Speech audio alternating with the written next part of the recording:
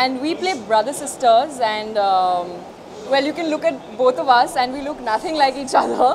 While our parents have Yeah, been, yeah. Um, our parents did something uh, really shady in their lives. on the show, maybe. Yeah, yeah. But uh, we actually have a really good brother sister chemistry, and I think uh, in real life also we've become like that. Uh, I'm always taking care of me, and he's always goofing up, Yeah. like in the show. So I think the show, the real life, has rubbed onto us in our real lives as well. Would absolutely. you like to add? I think uh, she's absolutely right. I think we've been taking our roles very, very seriously on and off uh, uh, set.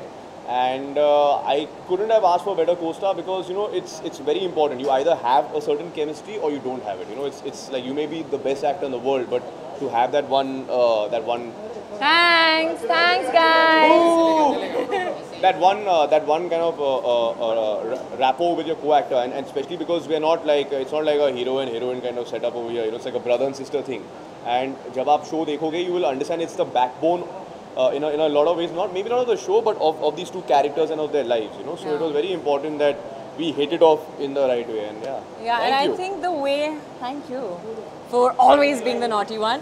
But uh, but I think what is important is in the show, vis-a-vis the show, um, I always have his back and he always has my back, and they have a very unsaid sort of. um very deep bond and through everything that happens in the course of the show uh, their, uh, theirs is the only relationship that stays intact you know so i think that is a very important factor Yeah. in the show I think I think I think she's like the moral center of my character Vayu because he he doesn't give to Look at him, look at the hoots clothes he about- wears, Yeah. यार. It's like फटे हुए कपड़े पहन के आ गया screening पे मतलब कैसी बात है budget नहीं है कुछ क्या नहीं करे यार सीखा तो So uh, yeah, so as, as I said, I think she's like the, the the moral center of my character, and uh, that's what makes him tick. And I think, as she said, like it's probably There are the only also other things relationship. that make him tick. yeah, You but will uh, see we're when going you to stick see to like the yeah platonic elements for now. Okay.